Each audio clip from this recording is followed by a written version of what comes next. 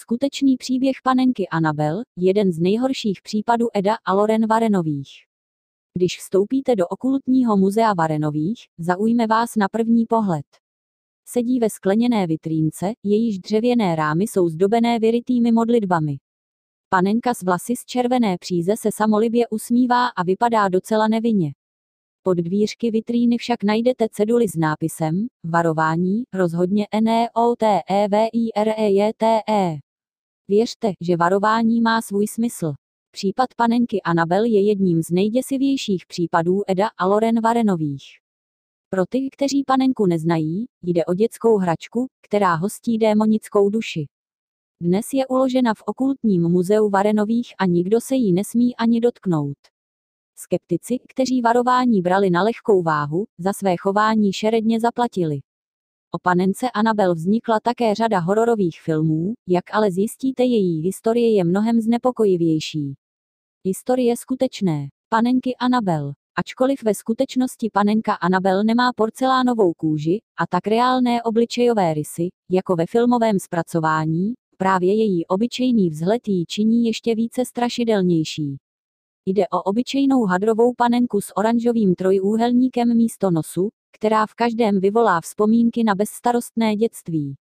Opak je ale pravdou, kdybyste se totiž mohli zeptat na panenku přímo Eda a Loren Varenových, což už bohužel není možné, Ed zemřel v roce 2006 a Loren zemřela začátkem tohoto roku, rozhodně by ji nepřirovnali k dětské hračce a utvrdili by vás v tom, že veškeré nápisy kolem její vitríny, kde je doslova uvězněna, jsou více než nezbytné.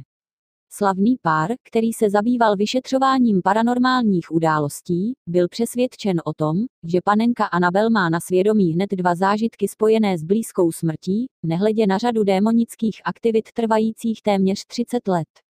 První démonická aktivita panenky byla zaznamenána v roce 1968, kdy byla Anabel úplně nová. Tento příběh byl vyprávěn dvěma mladými ženami, které požadovaly pomoc po Varenových, ti pak dlouhá léta příběh šířili dál. Příběh začíná tím, že se panenka Anabel stala darem pro mladou začínající sestřičku Donu, která ji dostala od matky k narozeninám.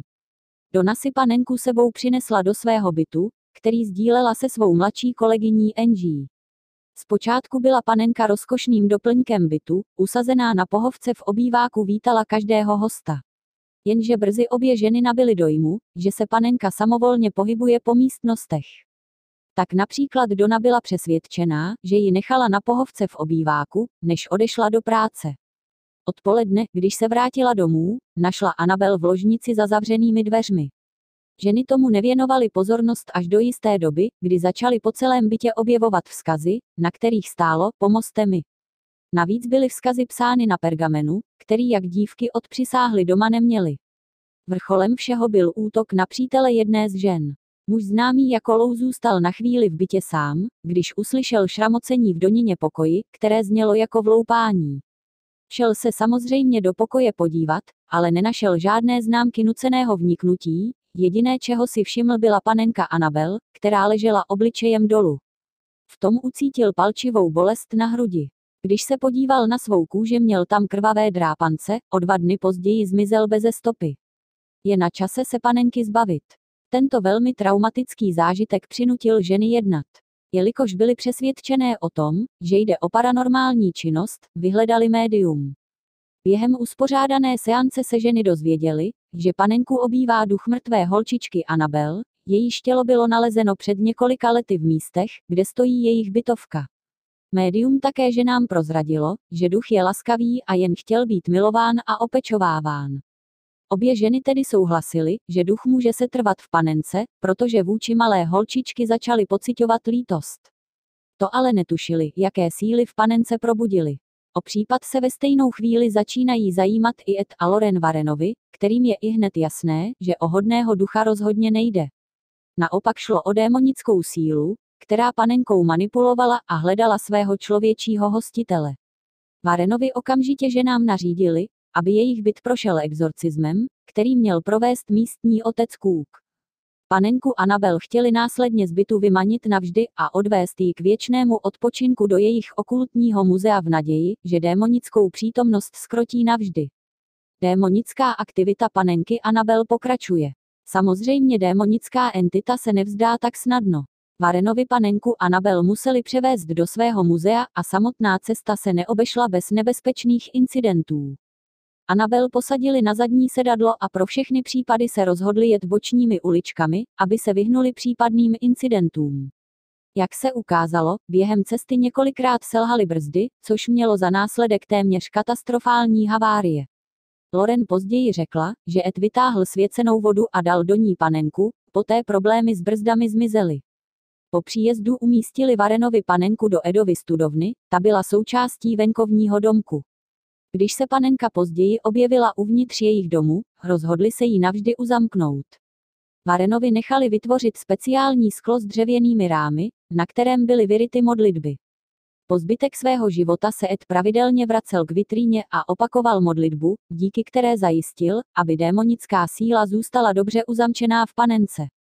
Ačkoliv je od té doby panenka nehybná, její duch už našel způsoby, jak oslovit pozemskou rovinu.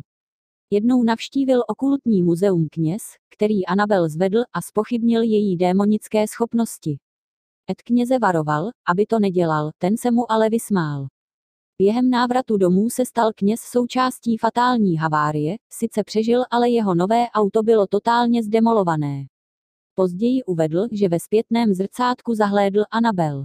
O několik let později jeden z návštěvníků muzea podlehl svému pokušení a nazaklepal na skleněnou vitrínu a přišlo mu to strašně vtipné. Ještě vtipnější mu připadala myšlenka, že lidé věří takovým povídačkám. Cestou domů ztratil kontrolu nad svou motorkou a narazil do stromu. Havárii nepřežil. V průběhu let předkládali Varenovi tyto příběhy jako důkazy démonické síly panenky Anabel. Nicméně jména mladého kněze ani motocyklisty nebyly nikdy prozrazeny. Dona a Angie, dvě zdravotní sestry, se také nikdy nepřihlásili se svým příběhem.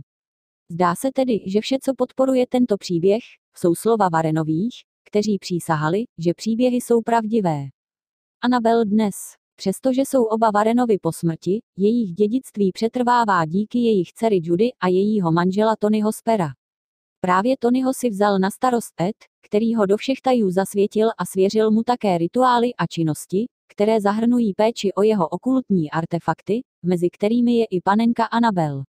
Spera tento úkol nebere na lehkou váhu a každého návštěvníka před nevinně vypadající panenkou varuje.